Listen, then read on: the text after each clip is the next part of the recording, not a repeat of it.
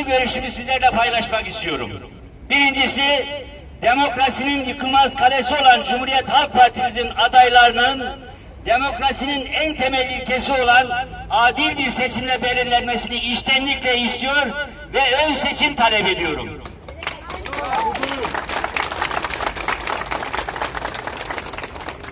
İkinci olarak burada belirtmek isterim ki ön seçimle veyahut atama ile belirlenen il ve ilçe belediye başkan adaylarımız ile yerel seçim sürecinde birlikte çalışacağımdan, mücadele edeceğimden hiçbirinizin ama hiçbirinizin şüphesi olmasın.